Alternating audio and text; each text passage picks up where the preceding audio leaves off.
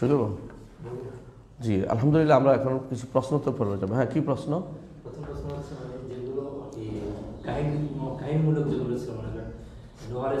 ছিল মনে তারা গেছে আফ্রিকানরা ছেলে মানে তথ্য সূত্রটা এগুলি তথ্যসূত্র আলহামদুলিল্লাহ আমাদের যে ইতিহাস গ্রন্থ আছে সেগুলোতে আছে। কাসির। ইবনে কাসির আছে ইমাম তাবারি বলছে ইমাম আহ, নাম কি আহ, তারিখ ইবনে ইমাম ইবনে খালদুন তার তারিখের মধ্যে দেওয়ান মুবতাদা ওয়াল খাবার ওয়ামান দাখালা ফিহা মিনাল আজম ওয়াল আরব ওয়াল আজম ওয়াল বারবার জাবিল সুলতান আল আকবর এগুলো বইয়ের বিরাট বইয়ের নাম নাম হচ্ছে ইবনে তারিখ ইবনে খালদুন বলে ওটাতে আছে আর আছে মাসউদির একটা গ্রন্থ আছে মারুজুদ্দাহাব ওখানে আছে আর আছে আলবাদ ও তারিখ লিল ইমাম ইল ফাসাবি ওখানে আছে আর আছে আহ, আর কিছু আছে ইয়াতে এই আহ, বা- বাইবেলের মধ্যে উল্লেখ আছে। কিছু বাইবেল উল্লেখ আছে? সাইন্টিফিক অনুসারে আমরা এগুলিকে বাস্তবে দেখি আসলে আছে এরকম। কারণ মানুষ এখনও পৃথিবীতে তিন ধরনেরই আছে। বাস্তবতাই মানুষ তিন ধরনের মানুষই আছে। আফ্রিকান মানুষ আছে ইউরোপিয়ান মানুষ আছে আরেকটা হচ্ছে সেমেটিক মানুষ। আর কেউ আছে মিলমিশে আছে। মিলমিশটা হচ্ছে সংকর হয়ে গেছে। বাংলার মাটির আকিদেও সংকট, মানুষের স- মানুষ সংকর মানুষ মানুষ সংকর আকিদেও সংকর এরকম মানুষগুলি এরকম? সংকরের এদের মধ্যে কোনো মিল পাওয়া যায় না কত ইতিহাসটা আপনি পাবেন। এটা পড়তে হলে আপনাকে একটা বই আছে, নাম হচ্ছে আল হিন্দু সিয়া ওয়া তাসুরু বাদিল ফেরাকুল ইসলামিয়াত বিহা। এই গ্রন্থটার ভূমিকাতে ভারতবর্ষের ইতিহাস নিয়ে একটা বড় লম্বা আলোচনা আছে, এটা পড়ে ফেলবেন। কোথেকে কোথেকে আনা হয়েছে সেটা দেখে নেবেন। লেখক হচ্ছে ডক্টর আবু বকর মাহমুদ জাকারিয়া। ওইটা দেখে নেবেন ওইটার মধ্যে আছে বুঝতে পারছেন? বিস্তারিত আমি আপনাকে শুধু একটু তথ্য দিলাম মানুষের ও আদি উৎস আদি আদি ইয়া সম্পর্কে আলোচনা করেছি কারণ অন্য কেউ দিলে আপনাকে ভুল তথ্য দিবে এই জন্য। সঠিক বিশ্বাসটা আপনার রাখতে হবে। Anthropologist। আর আর হচ্ছে যারা সোশ্যোলজিস্ট আছে এরা স্যার দেখা যাচ্ছে বিভিন্ন ফসিল টেস্ট ইয়ে টেস্ট বা আফ্রিকার উপজাতি। এইগুলো কাছে এনে মানে এরা বলতে চাই স্যার মানে মানে ওই যে স্যার, যে একটা ডারউইন তত্ত্ব বা ওই রকম তত্ত্বের একটা জিনিস প্রতিষ্ঠা করার জন্য খুব ট্রাই করে। আমি এই জিনিসটার উত্তর দিয়েছি। এই জিনিসটা উত্তর দিয়েছি আশির ফিল কাদিম আল হাদিস আমার কিতাবের মধ্যে। এমপ্লিটিসের মধ্যে। মানুষের উৎস কি? হালিল আসলুফিল ইনসান আর তাহিদ আমি শিখ মানুষের মূল কি তাহিদ ছিল না শিরিক ছিল? এটার উপরে আমি ওখানে আলোচনা করেছি। কারণ মানুষ এরা কি করে? দলিল দেয় কি? যে খাদ করে এটা পাইছি ওইটা পাইছি অথবা মুখের পরীক্ষা এটা পাইছি। হ্যাঁ আমরা অস্বীকার করছি না মানুষ শিরকে পড়ছে। কিন্তু এটা প্রাচীন বলা তো এর আগে যে তাহিদ ছিল এটা তো আমার কোরআন বলে। এটা তো আমার হাদিস বলে। এটা তো আমার অন্যান্য কিতাব বলে সমস্ত কিতাব বলে। এবং বেশিরভাগ মানুষ যারা ইমান ইমান যারা তারা সবাই এটা বলে। এরা তো আপনি যেটা পাইছেন সা- এটা হচ্ছে একটা অংশ অংশ বিশেষ। পার্ট বাংলাদেশে এখন যে অবস্থা যাচ্ছে, যদি কোনোদিন ভূমিকম্প হয় আর মূর্তিগুলি নিচে চলে যায়, এরপরের লোকেরা এসে তখন মূর্তিগুলি মাটির নিচে পায় বলে এগুলো আমরা আবাদত করতাম। কিন্তু আমরা কি আবাদ করি এগুলি? এগুলি মানুষ বানাইছে। ঢাকা শহরের মূর্তি অভাব নাই। কোনায় কোনায় যদি ভরাই ফেলছে, আবার যখন উল্টে নিচের দিকে যাবে, আরেক প্রজন্ম এসে করে এরা বোঝে মূর্তি পূজা করতো। না, এটা কারণে করছে। অথবা এগুলোর মধ্যে শতানলি করছে। এখন যখন শতানগুলি করতেছে, এগুলো বানাচ্ছে। তাই বলে এগুলি আমাদের আমাদের এই আমাদের শিক্ষা সংস্কৃতি বিশ্বাসের প্রতিনিধি প্রতিনিধিত্ব করছে না। সুতরাং শিরিক কখনো মূল ছিল না। এটা হলো মূল কথা। অ্যান্থ্রোপোলজি যারা আলোচনা করছে তারা এক পেশি আলোচনা হচ্ছে তারা যেটা পাচ্ছে এটা। কিন্তু তারা আরেকখানে পরীক্ষা করবে ইনসান বোল ডাউন দিয়ে যারা যেটা করছে কদিন ফাঁকলামি করেছে পরে খুঁজে দেখছে এটা একজন বানাইছে। অমুকখানে পাইছি এটা এত হাজার বছর এত লাখ বছর কেমনি সে করছে? এত কোটি বছর কেন বানাইছে এত যদি এত হয় এর আগে ছিল আমাদের তাহলে সুতরাং এটা ঠিক না। এটা প্রথম এতে কোনো সন্দেহ নেই। একটা বানর এখন কেন মানুষ হয় না? কষ্ট করে একটা বানর মানুষ বানাই ফেলো। দেখি। পয়সা টয়সা দিয়া বানরের একেবারে সব কিছু কাইটা কুইটা দেখি একটা মানুষ বানায়। দেখি পরবর্তী বানর বানর একটা লেজ কাইটা দেয়। দেখি পরটা দেখি মানুষ হয় কিনা দেখো। অথবা শিম্পাঞ্জি। একটা লোম টোম ফালাই দিয়ে রাখো। অল্প স্বল্প রাখো যে মানুষের মধ্যে। এরপর একটা মানুষ কিনা দেখো, হবে না? তো বোঝা গেল তুমি একটার একটা মধ্যে জিনগত পার্থক্য, আচরণগত পার্থক্য, সৃষ্টিগত পার্থক্য, হাঁটার পার্থক্য, চলার পার্থক্য। আর তুমি কিনা এটা বানাচ্ছ মানুষ। মানুষ কোনো দিনই এরকম ছিল, একটা মানুষও খুঁজে পাওয়া যায় তুমি বানরের ছবি দিয়া, বানরের কোনো একটা মূর্তি বানিয়ে পাইছে মানুষের মূর্তি করে দিবে। এটা এটা হতেই পারে তুমি করতে পারো এটা। কিন্তু এটা তো কোনো তোমার দলিল নেই প্রমাণ ধরে নিচ্ছ একটা জিনিস। কখনো মানুষ বানর ছিল না। মানুষ একটা প্রজন্ম বানর একটা প্রজন্ম আরেকটা প্রজাতি ভিন্ন ভিন্ন প্রজাতি। যেমনিভাবে মাছের ভিন্ন ভিন্ন প্রজাতি আছে তো আল্লাহ তালা সৃষ্টির মধ্যে ভিন্ন ভিন্ন প্রজাতি আছে। একটা থেকে একটা আসছে কথা ঠিক নয় একটা থেকে একটা আসে না। মানুষ এখন বানাচ্ছে কোমড়া দিয়ে আর কি টমেটো দিয়ে। একটা একটা বানাচ্ছে। এগুলি মানুষের কাজ। আল্লাহ বলছে এগুলো শয়তানের কাজ। সাথে আল্লাহ বলেছে কোরআনে কারিম যারা পরিবর্তন করবে। বলে আমরার নাহম ফালাই ইরুন না খালকাল্লাহ। শয়তান বলেছে চ্যালেঞ্জ করেছিল যে আমি নির্দেশ দিবে এদেরকে এরা আল্লাহ সৃষ্টিকে পরিবর্তন করবে। এখান থেকে ওটা লাগাবে ওটা ওটা বানাই বানাবে মুরগি দিয়ে মাছ? যদি হালাল বানানো হয় হালাল হবে হারাম বানালে হারাম হবে। নিষেধ নেয় এগুলিতে। কিন্তু যারা এগুলি নিয়ে আল্লাহর সৃষ্টির বিরুদ্ধে দাঁড়াবে সেটা হচ্ছে হারাম। হ্যাঁ?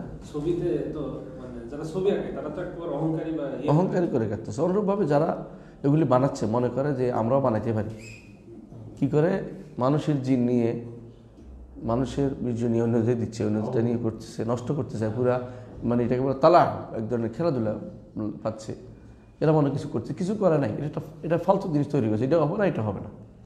মানুষও হবে না, এটা আরেকটা জিনিস হবে। এই জন্য এরকম কিছু পাওয়া যায় না, এখন পর্যন্ত যারা এটা করতে পারছে। একটা জিনিস করতে পারে, এটা হচ্ছে কোষ নিতে পারে। একটা কোষ নিয়ে বাড়াইতে পারে। যেমন আল্লাহ তালা একটা কোষ নিয়ে হাওয়াকে বানাইছেন। পাজর থেকে বানাইছেন না। কোষ তো কোষ দিয়ে পাজর তৈরি না। তো এটা হতে পারে। কি এটা তো সৃষ্টি না এটা তো হচ্ছে তুমি তার কি দিছো? অংশ। নিয়ে বানাইছো। তুমি একটা নতুন করে বানাও দেখি। নৌ থেকে হা করো দেখি তোমার কি আছে। ওটা তো কোনো ক্ষমতা নেই। এটা তো এমনি মানুষ দুনিয়াতে টেবিল বানায় আল্লাহর গাছ কাটে তো। বল টেবিল না আমি একটা জিনিস বানাবো এমন জিনিস যেটা আল্লাহ কিছু ব্যবহার করব না দেখি করো দেখি। তাহলে যেটা আসলে কিছুই করতে পারে না তাহলে-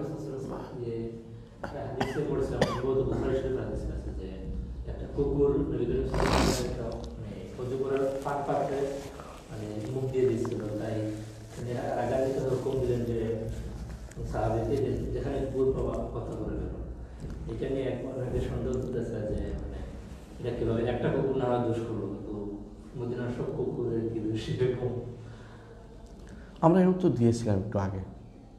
সেটা হচ্ছে, লোকালয়ে কুকুরগুলো যখন সীমা লঙ্ঘন করে, তখন এই অবস্থায় পৌঁছে। তো কুকুরগুলো যখন ঘরে ঢুকে যায়, বাইরে ঢুকে যায় এগুলি প্রচুর প্রচুর ইয়া- হয়ে গেছে বেড়া হয়ে গেছে, এগুলো সীমা লঙ্ঘন করে যাচ্ছে, তখন সেগুলি মারতে বলেছে। এমনকি মারতে মারতে তারা গেছে যখন এক বেদুইনের সাথে একটা ছিল, ওইটাও মারতে ছিল তারপরে মারা নেয় আবার নিষিদ্ধ করতে পরে। সবগুলি না যদি আল্লাহর সৃষ্টি না হতো আমি সবগুলি মেরে ফেলতে বলতাম। এর অর্থ ওই সময় আবার বলছে এর অর্থ হচ্ছে এটা ছিল সাময়িক পদক্ষেপ যখন বেড়ে গেলে উপজেলাতেও এখন একটা কুকুর নিধন কর্মকর্তা আছে। যদিও এখন প্রাণী যারা ওদের কারণে মারতে পারে না কিন্তু এটা সবসময় ছিল। যে জিনিসে বেড়ে যায় ওই জিনিসটি সীমার ভিতরে নিয়ে আসে একটা দায়িত্বের ভিতরে পড়ে রাষ্ট্রের যে কোনো লোকে। রসুল আসলাম রাষ্ট্রপ্রধান ছিলেন। তিনি দেখেছেন যে এটা তার ঘরে এত এর পরেও ঘরে ঢুকে গেছে। এর অর্থ হচ্ছে এটা প্রচুর বেড়ে গেছে। এবং এগুলোকে যতক্ষণ পর্যন্ত সীমার বাইরে না নিয়ে যাবে দূরে চলে না যাবে পাহাড়ে পর্বতে না চলে যাবে যেখানে তারা তাদের অবস্থান থাকবে লোকালয়ে এরা ক্ষতিকর। ঢাকাতেও বিভিন্ন এলাকায় এখন এত ক্ষতিকর কুকুর হাঁটতে পারি না গায়ের ভিতরে হাঁটে রাতের বেলা বিশেষ করে এরা মানুষকে যেভাবে দাবিয়ে ধরে আমার তো মনে হয় এদেরকে সব ধরে নিয়ে ওদেরকে দিয়ে দেওয়া উচিত যারা কুকুর পালে। তোর লইয়া দাও তোরা তুই মারতে না সব কুকুরের জন্য কান্নাকাটি করতেছ কারণ কিন্তু সীমা লঙ্ঘিত হলে যে কোনো জিনিসেই কী করতে হয় এটাকে সীমায় আনতে হয়। এটা হলো যেগুলো স্বীকার করবেই। সুতরাং যারা এগুলি বাড়াবাড়ি করছে, ওদেরকেও জিজ্ঞাসা করতে হবে। ওনাদের ঘরেও যদি কোনো সাপ সারাদিন ঘুরে বলবে যে, না, মারতে হবে, আমি বাড়ি থাকব না। এই বাড়িতে থাকবে না সে। যদি ওর সাপের প্রতি খুব দরদ। সাপ তো একটা প্রাণী। তো সাপ কথা ছেড়ে দেওয়ার বাসার মধ্যে? বলতে না, সাপ বাইরে থাকুক, সাপ ঘরে আসবে কেন? ঠিক ওইটাও। কুকুর কুকুরের জায়গা থেকে কুকুর ঘরের ভিতরে ঢুকবে কেন? কুকুর যেখানে সেখানে মুখ দিবে কেন? এগুলো ক্ষতিকর।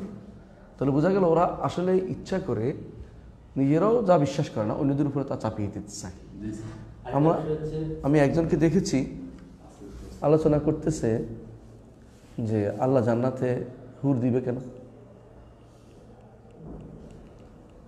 না জান্নাতে নারী দিবে কেন? জান্নাতে যদি নারী না দিত তখন বলতো যে আল্লাহ জান্নাতে সবচেয়ে আনন্দের বিষয়টাই তো দিবে না। যাব কেন জান্নাতে? তাই তো? আর আল্লাহ দিছে কেন এখন আপনার আপত্তি হচ্ছে? আপনি দুনিয়াতে যারা বদমাস টাইপের ওদের সবগুলো দেখবেন নারী কেন্দ্রিক সব জড়িত। নারী কেন্দ্রিক। তো আপনাকে ভালোভাবে দিতে চাইছে, নিতে চাইবেন না। হারামি করে জন্তু, জানোয়ারের মতো ব্যবহার করে আপনি দুনিয়াতে থাকতে চান। আর যখন আল্লাহ তালা আপনাকে পুরস্কার হিসেবে দিবে, তখন আপনার মনে হচ্ছে এটা কেমন হইল হ্যাঁ? আপনি কি কি যদি আপনি বলেন যে আমার নারী কেন্দ্রিক কোনো টান নাই, তাহলে আপনি নপুংস আপনি তৃতীয় তৃতীয় কি? তৃতীয় শ্রেণির লোক। আপনার ব্যাপারে আমাদের কোনো আর কথা নাই। কিন্তু আপনি এগুলি বলতে পারেন না যে কেন দিবে। এটা তো এটা তো আসলেই জিনিস, ভালো জিনিস। শুধু পুরুষের জন্য নারীর জন্য আনন্দের জিনিস এটা, কিন্তু পুরুষের সাথে থাকা এটা খারাপভাবে দেখাতে কোনো সুযোগ নেই। এটা হচ্ছে আপনার বিরোধিতা করতে হবে, তাই বিরোধিতা করা। এরা কোনোদিনই ভালো মানুষ একজন আমাকে এটা বলেছিল, আমি বলতে তাহলে না দিলে ভালো হতো কারণ না, এটা কেমন হয়? তো আর না দিলেও ভালো না, আবার দিলেও দোষ। তো আপনি কী করলেও ভালো হয়, এটা বলেন। এগুলি হচ্ছে একজনের শয়তানি ছাড়া কিছুই নেই। এগুলি যখন মানুষের অন্তরে শয়তান ঢুকে, তখন মানুষের উল্লাপাল্লা বক্তব্য দেয়। আচ্ছা কিছু প্রশ্ন আছে এগুলো উত্তরটা দিই। আমরা সর্বশেষ কি কোন প্রশ্ন উত্তর দিয়েছিলাম? আচ্ছা ষোলো। কবরের সামনে গিয়ে সুরা কালাম পড়ার পর অনুমতি আছে কি? যেমন আরেক কবরে লেখা থাকে দরুদে হাজারি পড়লে চল্লিশ বছর গুণা মাফ হয়। সুরা নাস ফালাক এখলাস তিনবার পড়া আসসালামু আলাইকুম আহলাল খবর পড়তে হবে। তাহলে এগুলো কি কোনোটি দলিল নেই? না জেনে কেউ এসব পড়ে ফেললে তার কি গুণা হবে? অনেকগুলি প্রশ্ন। কবরের কাছে গিয়ে মূলত কোনো কিছু অতিরিক্ত কোনো কিছু পড়তে পারবে না, যেটা রসুল পড়েছেন সেটা বলতে পারবে। রসুল্লাহ সাল্লাম কী করেছেন? কবরের কাছে গেলে রসুল্লাহ সাল্লাহ আসলাম তিনি বলতেন, আসসালামু আলাইকুম আহলাল কবুর এটাও আছে। আবার, আসসালামু আলাইকুম আসসালামু আলাইকুম দারা কওমি মিনিন ওয়া ইন্না ইনশা আল্লাহ বিকুম লাহিকিন ইয়ারহামুল্লাহ মুস্তাকদিমিন মিন্না ওয়াল মুস্তাখিরিন এটা বলতেন। এর অর্থ হচ্ছে, হে কবরবাসী, তোমাদের উপর সালাম। হে ইমানদারদের ঘর বাড়ির লোকেরা, তোমাদের উপর সালাম। তারপরে আল্লাহ আমাদের আগের এবং সবাইকে রহমত করুন। ইয়ার হামুল্লাহ মুস্তাকদিন মুস্তাখিরিন। অন্য বর্ণে আসছে যে, আল্লাহ আমাদেরকে এবং তোমাদেরকে ক্ষমা করুন। এটা আসছে। ওগুলো বলা যাবে, কোনো সমস্যা নেই। এর বাইরে সেখানে কোনো কোরআন তেলাওয়াত, হাদিসে আসে নেই। এই জন্য সেখানে কোরআন তেলাওয়াত কাটা বেদাত হবে। সুরা ফালাক, নাস, অনেকে বলে সুরা ফাতিহা পড়েন, ফালাক পড়েন, নাস পড়েন, অথবা দুরুদ পড়েন, অথবা এই তিনবার কুরুয়াল্লাহ পড়েন, চারবার, বা এগারোবার দুরুদ এই এই জাতীয় যেটাই, অথবা এটা আপনারা এখানে যা বলা হয়েছে, প্রশ্ন করেছেন, দুরুদে হাজারি পড়লে চল্লিশ বছর। না, এটা মিথ্যা কথা। দুরুদ হাজারি পড়লে কোনো দুরুদ আল্লাহ তালা আল্লাহ রসুল কোথাও নাজিল করেন মিথ্যা বানোয়াট বানোয়াট একটা দুরুদ, এটা পড়া যাবে না। আর এগুলি নাই আসলে। আর সুরা ফালাক, নাসের কথা যে বলা হয়েছে এটা আসলে অন্য জায়গায় পড়বেন কিন্তু কবরে পড়বেন না। আর সকালে বিকালে পড়বেন কোনো সন্দেহ নেই। অন্য সময় পড়বেন নামাজের পরে পড়বেন। কিন্তু এইটা এ, কবর জন্য নির্ধারণ করা কবর কাছ থেকে পড়াটা বেদাত হবে এবং গুণা হবে। সব জায়গায় গুণা হবে। এই জন্য এই জন্য- হ্যাঁ। আর সুরা ইয়াসিন কবর সুরা ইয়াসিনের কোনো ফজিলত বিশুদ্ধভাবে প্রমাণিত হয়নি। কোথাও না। কবরের কাছেও না আগেও না পরেও না। রাত্রেও না দিনেও না কোনো দিনে না। সুরা ইয়াসিনের অতিরিক্ত কোনো ফজিলত নেই। সুরা আর রহমানের অতিরিক্ত কোনো ফজিলত নেই। সুরা ওয়াকেয়ারও অতিরিক্ত কোনো ফজিলত নেই। এগুলি শুধু আমাদের দেশে টাকা পয়সা না। টাকা পয়সা বাড়াইতে বাড়াইতে হেরা গরিবে থাকে দেখি। সারা বছর পরে সুরা ওয়াকেয়া কিন্তু ধনী হইতে চায় না। আমার এক ভাই আছে সারা দিন সারা রাত শুধু সুরা ওয়াকেয়া পড়তেছে। উনি যেই সেই আছে তো ওনারা বললে কয় না হাত পাইছি। পাইছি কি? নেয়ামুল কোরআন রমুক তুমুক কোরআনে আছে আসলে হাদিস সহি হাদিস না। সুরা ইয়াসিনের উপর কোনো সহি হাদিস নেই। তবে মৃত্যুর সময় যে ব্যক্তি অর্থ বুঝে তাকে সুরা ইয়াসিনের কিছু অংশ উল্লেখ করে মৃত্যুর ঘটনাগুলো উল্লেখ করে মৃত্যুর পরে কী হবে না উল্লেখ করে আখরাতের প্রতি তাকে উৎসাহ প্রদান জায়েজ আছে তবে এটা সোয়াবের আশায় নয় যে এটা পড়লে এত এত সোয়াব এটা না। সলবে সালিনের হ্যাঁ ইমামের থাকবে এটাও না উপর থাকবে এটাও না। সলবে সালিন সবসময় যেটা করতেন সবসময় কেউ কেউ সবাই না কেউ কেউ সুরায় মৃত্যুর সময় যে যাচ্ছে তাকে সুরায় ইয়াসিনের বিভিন্ন জায়গা পড়ে তাদেরকে বুঝাইতেন যে আখেরাত সামনে তোমার। কি করবা তুমি? এরকম হয় এরকম হয়। হাসরের মাঠে কি হবে? এগুলি সব উল্লেখ আছে। কি বিপদ হয়েছে দুনিয়ার মানুষ? এগুলি উল্লেখ করছে। কিন্তু এরা তারা কেউ মনে করতেন না যে এইটা দিয়ে পড়লে ফু দিলে চল্লিশ বছর মাফ হয়ে যাবে, এই হবে, সে হবে, এগুলো সব মিথ্যা কথা, এগুলি ছিল না। সুরে ইসলিম এমনি কোনো অতিরিক্ত ফজিলত নেই। সোজা কথা এটা। আর রহমানের অতিরিক্ত কোনো ফজিলত নাই। আর মিথ্যা কথা হচ্ছে ওইটা যে হাসরের মাঠে আল্লাহ তালা আর রহমান পড়ে শোনাবেন, এটা মিথ্যা কথা। অথবা রসুল পড়ে শোনাবেন এটা মিথ্যা কথা। অথবা দাউদ পড়াবেন, শুন, পড়ে শোনাবেন, তার কিতাব থেকে এটা মিথ্যা কথা। হ্যাঁ মিথ্যা কথা। তাহলে বোঝা গেল, এগুলো মিথ্যা কথা আমাদের দেশে প্রচুর প্রচলিত আছে। আর যারা না জেনে করেছে আল্লাহ তাদের ক্ষমা করবেন। তাও ব্যস্ত একবার করতে হবে যে বেদাত করা আসলে গুণা বেদাতের মধ্যে হারাম আছে, মাকরু তাহারিমি আছে, হারাম বেশি। মানে মারে, বেদাত সর্বনিম্ন হচ্ছে হারাম হওয়া। কেউ কেউ মাকরু তাহারিমি পর্যন্ত বলেছেন কোনো কোনোটা। নির্ধারণ করাটা, যেটার মধ্যে সন্দেহ বেশি। যে মানে বেশি বেশি তাদের কাছে প্রাধান্যপ্রাপ্ত যে আসল হইতে পারে। এরকম করে সেটাও মাকরু তাহারিমি। আর যেটা বেদাত বলে প্রমাণিত হবে এটা একদম হারাম। এটা কোনো হালাল হবে না। সতেরো নম্বর প্রশ্ন বাস সফরে থাকাকালীন সময় যানবাহনে কীভাবে আদায় করব যখন ড্রাইভার বাস থামায় নাই? ড্রাইভার যদি বাস না থামায় কোনোভাবেই নামাতে পারছেন না। আপনার দুই ধরনের সিস্টেম আছে। একটা হচ্ছে জোহর আসরকে আগেই গাড়িতে ওঠার আগেই পড়ে নেবেন। মাগরিব আশাকে গিয়ে পড়বেন অথবা মাঝ যেখানে থামবে সেখানে পড়বেন। অনেক সময় থামবে মাঝখানে। একসাথে করে পড়বেন কোনো সমস্যা নেই। দুইটাকে একসাথে একসাথে করে পড়তে পারবেন যেখানে থামে সেখানে। অথবা উঠার আগে তো ঘর থেকে নয়। জমা জমা করা যায় আছে আর যদি এমন হয় যে জমা করার সুযোগ পাচ্ছি না যেমন আমি জোহর পড়ে ফেলছি এখন আসর পড়ব তখন কি করবেন? তখন যদি না না থামায় আপনার অজু থাকে ক্যাবলামুখী হয়ে বসা অবস্থা সালাত আদায় করবেন। অজু না থাকলে তাইমুম করে নেবেন। অজুও নয় তাইমুম নয় যেভাবে আছে সেভাবে সালাত আদায় করতে হবে। সালাত কোনো পিছানো যায় না। কাদা করার কোনো কাজার করার কোনো অনুমতি ইসলাম দেয় নাই সালাদকে ইসলাম কোনো অবস্থাতেই সালাদ কাজা করার অনুমতি দেয়নি তাইমুম করবে যদি মাটি থাকে না থাকলে মাটি নাই। অনেকেই দেখা যায় যে গাছের বাসের ইয়ার মধ্যে হাত মারে। এর মধ্যে কোনো বালু নেই আসলে। যেই বালু নেয় এটা দিয়ে বালু এটা তাইম হবে না। বালু হতে হবে দৃশ্যমান বালু হতে হবে তাইম করতে হলে। ময়লা দিয়ে তাইম করা যায় না। জুতার কালি জুতার পায়ের নিচে থেকে ময়লা নিয়ে এটা ঠিক না। তো এটা অনেক অনেকে মনে করছে ভালো জিনিস বুঝে এটা ঠিক না। পড়তে হবে। সময় চলে যাওয়ার আগে। পড়ে ফেলতে হবে। যেহেতু সফরে দুই রাগাত পড়তে হবে চার রাগাতগুলো আর তিন রাগাতগুলো তিন রাগাত পড়বে। আর যদি ইয়া হয় যে এমন হয় যে তিনি এই পানি পাইছেন তাহলে কিন্তু অজু করতে হবে। যদি পানি অনেক সময় বাসে নাই কিন্তু অনেক অনেক বাসে আমার নিচে ইয়া থাকে বাথরুমের জায়গা থাকে পানি থাকে ওখান থেকে অজু করতে পারবেন অজু বাংলাদেশ নেই থাকে। বল্ব বল্বগুলিতে থাকে। তো না থাকলে কোনো সমস্যা না আপনাকে যেটা বলেছে এটা। তাহলে এর হচ্ছে বাসে সালাতে নিয়ম এটা সালাত কোনো ক্রমে পিছনে যাবে না। একটা শর্ত কিন্তু আছে এটা হচ্ছে ক্যাবলামুখী হতে হবে। ক্যাবলা জেনে নিতে হবে। তো ক্যাবলা আপনি ঘুরে যাবেন। গাড়ি ঘুরলে আপনি ঘুরবেন। বিমান ঘুরলে আপনি ঘুরবেন হ্যাঁ। আপনি ঘুরে যাবেন। গাড়ি ঘুরবেন আপনি ঘুরবেন। গাড়ি অন্যদিকে ঘুরে গেছে আপনি এদিকে ঘুরে যাবেন। মানে আপনি নামাজের ভিতরেই ঘুরে যাবেন। নামাজের ভিতরে আপনি ঘুরবেন। কেন? চারদিকে ঘুরে যায়। বসে পড়বেন তো সিটে বসে পড়লে চারদিকে ঘুরে যায় কোনো সমস্যা। না পুরো ঘুরবেন। পুরো শরীর ঘুরতে হবে। ক্যাবলামুখী হতে হবে আপনাকে। যদি ক্যাবলামুখী হওয়ার শুরুতে আপনাকে না দেয় যেমন বেঁধে রাখছে কোনো দিবে আপনার গুতি দিচ্ছে না, আটকে রাখছে তো যেভাবে এভাবে পড়তে হবে সালাদ তারপরে সালাদ বাদ দেওয়া যাবে না, কাজা করা যাবে না। সালাদ কাজা করা যাবে না সালাদ কাজা করা যাবে না। দেয়াল যদি ডিস্টেম্বার করা থাকে, তাহলে ভালো নেই।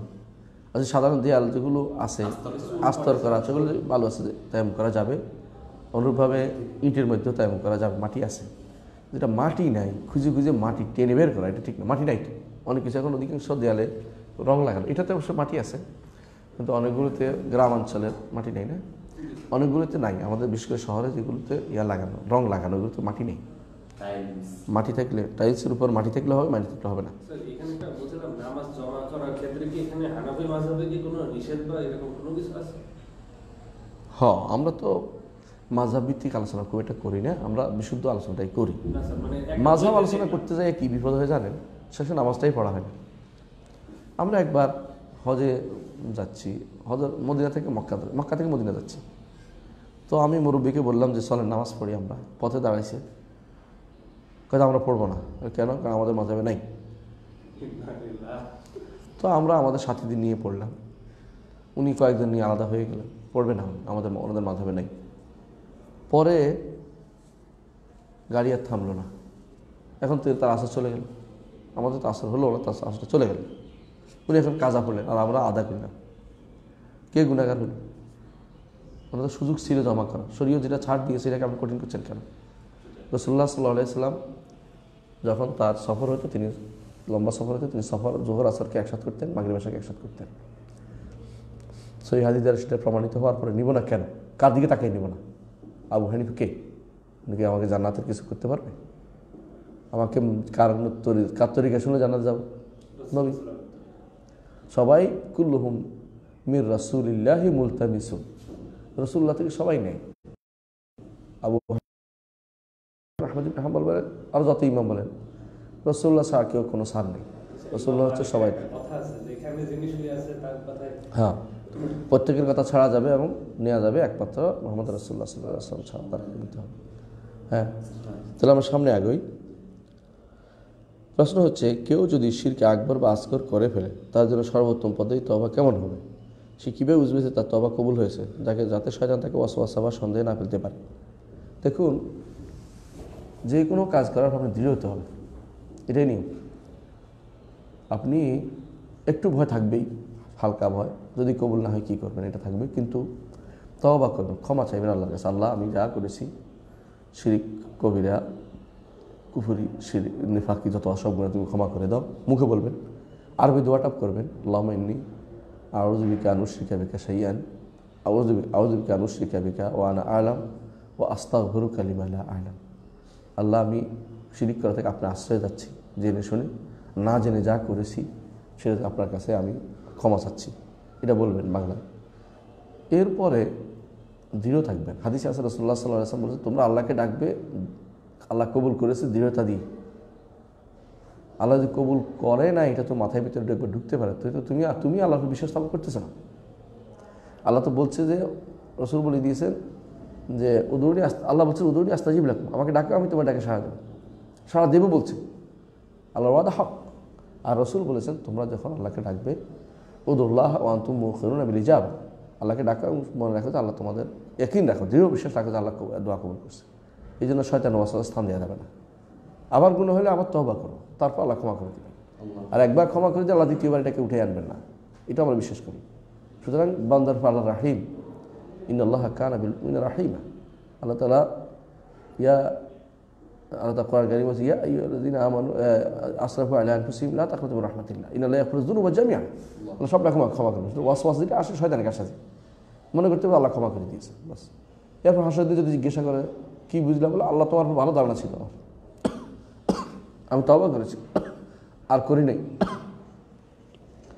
তাহলে বুঝতে পারছেন তো কথাটা জি হ্যাঁ মৃত প্রশ্ন হচ্ছে এরপরে যদি পিতা মাতার কেউ মারা যায়, তাদের সাথে বেয়াদি বা অবদ্ধ আচরণ করার জন্য ক্ষমা চেয়ে নেওয়ার সুযোগ না পাওয়া যায়, তাহলে করণীয় কী?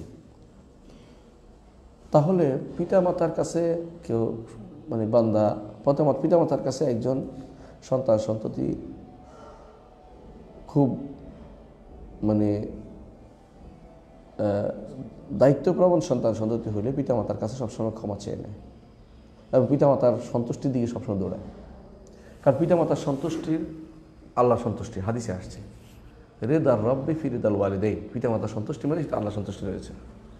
তবে হারাম কাজ অথবা শরীয়ত যেটা বলে না, এমন কাজ করতে বলেছে, সেটা তো কারও অনুসরণ করা যাবে না। লা তাড়াতাড়ি মখলুকিন ফি মাসিদুল খালেক। সেই জন্য পিতা মাতার অনুসরণ করেই যেতে হবে আপনাকে সারা জীবন, এমনকি আপনার সম্পদ নিলেও দিয়ে দিতে হবে, আপনার কিছু চাইলেও দিয়ে দিতে হবে, বাড়াবাড়ি করা যাবে না। এখন যদি কোনো কারণে পিতা মাতা খারাপ ব্যবহার করে থাকেন, তাহলে তাদের কাছ থেকে তখনই ক্ষমা নেওয়া দরকার অথবা ভালো কিছু করে সেটা কভার দেওয়া দরকার, যাতে তারা ভুলে যায়। তারা আপনার দোয়া করতে থাকে। দোয়া করলে আরেকটা ক্ষমা হবে। দোয়া করলেও একটা ক্ষমা হয়ে যাবে। এটাও চাইবেন কারণ দোয়া করার অর্থ হচ্ছে তারা সন্তুষ্ট হয়ে গেছে। পিতামাতা সন্তুষ্ট হয়ে, আল্লাহ যেমন সন্তুষ্ট হয়ে যায়, তার কাছে তবা করলে পিতামাতা সন্তুষ্ট হলে আগেরগুলি তারা বুঝে ভুলে যায়, ভুলে যান ডাকেন না সাধারণত। তো পিতামাতার সন্তুষ্টির দিকে সবসময় খেয়াল রাখতে হবে। যদি পিতামাতা সন্তুষ্ট নেওয়ার আগেই তারা দুনিয়া থেকে চলে যান, তাহলে একটা দুর্ভাগ্য হয়েছে আপনার। এতে কোনো সন্দেহ নেই। এখন আপনার দায়িত্ব হবে যে কোনো মূল্যে তাদের খুশি যে সমস্ত কাজগুলি সেগুলি করা, তাদের জন্য দান সৎকার করা, তাদের জন্য দোয়া করা সবসময় জান্নাতের। তাদের আত্মীয় স্বজনকে দেখাশোনা করা, তাদের আত্মীয় স্বজনকে দেখাশোনা করা, তাদের যে যারা ভালোবাস, তারা যাদেরকে ভালোবাসতেন তাদেরকে দেখাশোনা করা, তারা যাদেরকে ভালোবাসতেন তাদের দেখাশোনা করা। তারা কি কি করলে খুশি হতেন ওই কাজগুলি করা। বুঝতে পারছি এগুলি করার মাধ্যমে আপনি ক্ষমার ব্যবস্থাপনা করতে পারেন। বিশ নম্বর প্রশ্ন। মৃত বা জীবিত ব্যক্তির জন্য কোরআন খতম করে বকশিয়ে দেওয়া কি জায়েজ নাকি এটা বেদাত? কোরআন খতম করে করলে একটা আলাদা কোনো সবাবের কথা বলা হয়নি হাদিসে। সুতরাং কোরআন খতম করে আলাদা সব না, কোরআন এমন পড়লে সব কিন্তু কোরআন খতম করার সময় সলবে সালেন দোয়া করতেন, একটুকু লাভ। খতম করার পরে কোরআন খতম করার পর দোয়া করতেন। কারণ আল্লাহর বাণী তেলাওয়াত করছেন ওসিলা দিয়ে দোয়া করতেছেন, এটা হচ্ছে নিয়ম। তো কেউ যদি তা করে, আল্লাহর বাণীর পরে দোয়া করে, ওসিলা দিয়ে, সেটা ভালো। সেটা করতে পারে, কিন্তু বকশিয়ে দিবেন, এটা কিন্তু জায়েজ নেই। কারণ আসলে কীভাবে দিবেন? এটা তো আপনার আমল। আপনার বাবা যদি আপনার কোরআন শিক্ষার জন্য মাধ্যম হয়ে থাকেন তাহলে তিনি এম- এমনিই সব পাবেন। আপনার মা যদি সেটার মাধ্যম থাকেন, এমনিই সব পাবেন। কিন্তু মা বাবা আপনার শিখায়নি। আপনি দোয়া করতে পারবেন শুধু, কিন্তু কোরআন যাবে না। কোরআনে কি যাবে না। কোরআনে সব যাবে না। কারণ তিনিও মাধ্যম না। বুঝাতে পারছি? তো আপনার বাবা আপনার কোরআন শিক্ষা দিয়েছেন। তিনি না চাইলেও এটা যাবে। কিন্তু আপনার বাবা আপনাকে কোরআন শিক্ষা দেননি, সাধারণ শিক্ষা দিয়েছেন। আপনি কষ্ট করে শিখেছেন। আপনারটা এটা আপনার আপনার আপনার বাবার কাছে যাবে না এটা। না এই আমার সম্মুখে দিয়ে দাও এটা জায়েজ নেই এটা নাই শরীয়তে এটা নাই। আপনার নাম আরেকজনকে দেওয়ার সিস্টেম নেই। মদিনা এটাও ভুল। সোনার মদিনা এমনিই যাবে। রসুল সমস্ত হেদায়তের মালিক তিনি সব হেদ- হেদায়েতের পথ দেখাইছেন। এটা এমনিই চলে যাবে। আপনি চান আর না চান ওইটা পাবে। যারাই আমার কোরআন শিক্ষা দিয়েছে তারা সবাই পাবে। কোরআনের কাজে লিখিত লিখছে কোরআন ঠিক করছে এটা সবাই পাবে। কিন্তু আপনার বাপ পাবে না। যদি আপনার বাপ না শিক্ষা দিয়ে থাকে। বুঝতে পারছি কথাটা? যে শিক্ষা দেয়নি সে পাবে তারা দিতেও পারবেন না। তারে কোনটা দিতে পারবেন যেটার জন্য সে কারণ হয়েছে। তারা দোয়া করতে পারবে, তার জন্য আল্লাহ তার ক্ষমা করে দাও, জান্নাত দাও, এটা দাও এটা দাও। কিন্তু তা, যে আপনি এটার কোনো কারণ আছে পাবেন এই জন্য তারা দেওয়া যাবে না এটা। এই ভক্সানোর সিস্টেম না এটা ভুল এটা। হয় আপনাকে এলম শিক্ষা দিছে, হয় আপনাকে এই আপনার ওসিলা হয়েছে শিক্ষানোর জন্য অথবা দান সম্পদ দান করছে এর বাইরে কিছু সে পাবে না কবরওয়ালা। আপনি সেটার কারণ না হলে সে কিন্তু কিছুই পাবে না বা কবরওয়ালা আপনার বক্সালে কিছু পায় না। এগুলো মানুষের ভুল ধারণা। একটা বক্সানো প্রথা দেখেছি যে দেখা যাচ্ছে যেদিন সাধারণত এই মৃত্যুবার্ষিকী হয় সেদিন দেখা যাচ্ছে অনেক মাদ্রাসা থেকে ছেলে পেলে এনে তাদেরকে পাঠ পাঠ করে যায় যে তুমি এই তিন পাঠ করবা ইয়ে করবা এই এক দুই ঘন্টায় সম্পূর্ণ বক্সিয়ে তারপরে সবাই চলে যায়? এটাতে সম্পূর্ণ বেদাত আর মৃত্যুবার্ষিকী আরেক বেদাত। আর এটা আরেক বেদাত। আর কিছুই পাবে না, এটা আরেক বেদাত, পয়সা খরচ হবে, আরেক বেদাত। মানে সবগুলি বেদাতের উপর বেদাত। জুলুমাতুন জুলুমাতুন। ফাওকা বাদুহা ফাওকা বাদ একটার উপর একটা অন্ধকার, সবই ভুল। এগুলো ইসলামের ইয়ের ভিতরে পড়ে না। আমরা এখন এমন অবস্থায় পৌঁছে গেছি, বাবা কুটিপতি চলে গেছে দুনিয়া থেকে। ছেলে কুটিপতির কি করবে? বাবার জন্য এখন খতম খাজে গান পড়ায়, খতমে ইউনুস পড়ায়, খতম করায়, এটা করা ওইটা করায় বকসায় দেয়, ওইটা করে কিচ্ছু কাজে লাগবে না। বাবা যদি কোনো ভালো কাজের অসিলা হয়ে থাকেন সন্তানকে দিন শিক্ষা দিয়ে থাকেন কোরআন শিক্ষা দিয়ে যাবে আর দোয়া করলে সেটা যাবে ব্যক্তি কিন্তু ধার করে ভাড়া করে ভাড়া করে আপনি সেটাকে নিতে পারবেন না। আমরা কি তাহলে এখান পর্যন্ত থাকি? সোহানাক আল্লাহ হামদিক আসাদুল্লাহ আস্তাগফিরুকা ওয়া আতুবু ইলাইক। আজকে একটা প্রশ্ন আসছে। যে কারও ব্যাংক লোন থাকলে সানজিদা এখন নাইমা প্রশ্ন করছেন কারও ব্যাংক লোন থাকলে তার অন্য সদকা মানে তার অন্য করবে সদকা গ্রহণ হবে কিনা? অথবা কেউ বাড়ি করার জন্য লোন নিয়ে তার জাকাত আদায়ের বিধান কি হবে? লোন দিয়ে বাড়ি করলে জায়গা আদায় করবে আর লোন নিলে তখন ইবাদত কবুল মানে সাদগা প্রথমত একজন মানুষে দুই তিন সাইড থাকতে পারে। আপনি প্রথম যেটা বলেছেন যে তিনি কি করেছেন বললেন? স্যার ব্যাংক লোন থাকলে তার ব্যাংক সৎকা, সৎকা। ব্যাংক ব্যাংক লোন থাকলে তার সৎকা কবুল হবে কিনা? ব্যাংক লোন নিছে, সেজন্য তার উপর ফরজ হচ্ছে ব্যাংক লোন থেকে মুক্ত হওয়া, প্রথম কাজ। সুদ থেকে মুক্ত হওয়া। তখন আর সৎকা কাজে লাগবে না।